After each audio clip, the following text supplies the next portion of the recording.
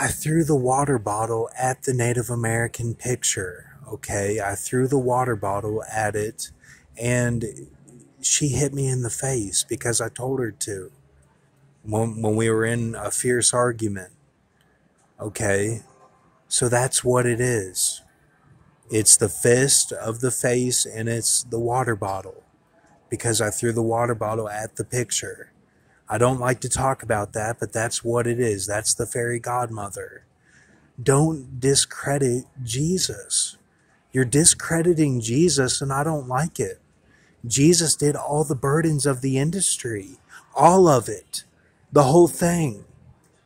And and you want to say that oh they, they don't they're evil or they don't matter or Brock he's crazy.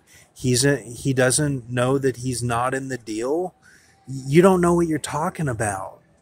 You don't know what you're talking about, man. Like, that's how can you say you like the movies and you you like it all and then and then you don't even respect Jesus. You don't even respect what she did for us. That's what I don't get about you guys. And then you watch all this trash now and you think it's great on the TV. You think the current stuff is great and you don't respect the old. You're you're not respecting Jesus. That's her that's what she did for us. That's the American dream. She did it for us. What's the other American dream? To be to be a judge for God. To be a warrior for God on earth, mobbing with powers. That's what it is and to defeat all those high spirits. I'm explaining the high spirit. You haven't even encountered it yet. We haven't even gotten to that yet. And and so, and some of you I'm worried won't make it. You won't make it because it'll be too much for you to handle. I'm serious. I like Mr. T I talked about it. He was in the woods.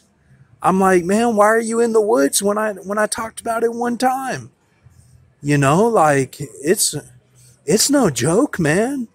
Like it's no joke. Like you got to be protected.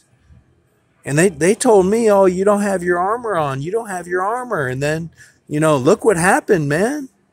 Like look what happened. You know, and I and I did have armor on. That's what they don't get. I was a warrior for God, and I still am. You gotta you you you gotta get get with this.